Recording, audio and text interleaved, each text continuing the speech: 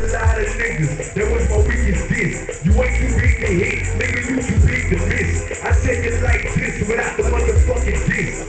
Fuck brain dead when I swing on miss. You ain't gotta be in love, you ain't gotta be with me. Just know they read the shit and I split your wig kid. See how the terrific I get with it when I fumble off.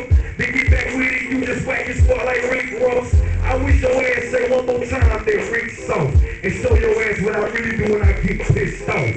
Gemini status, I be the baddest. Catch your ass slipping late at night like glass, it and asking what you gonna do when that 22 go boot like Casper. Don't need no chopper to stop and pop you or harass you. I just tell you in front of the whole club, you was a bastard and I just smashed you.